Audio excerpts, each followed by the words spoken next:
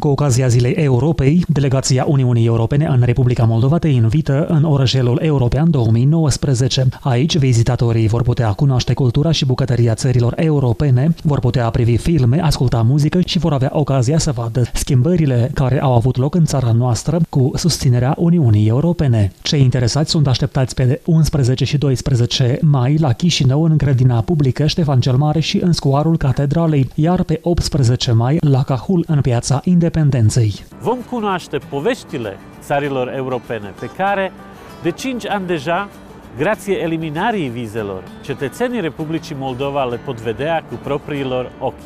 Vom afla cum s-a schimbat însăși Republica Moldova datorită cooperării cu Uniunea Europeană în cei 5 ani acordului de asociere și acordului de liber schimb, în cei 10 ani ai parteneriatului estic pe care îl marcam în luna mai.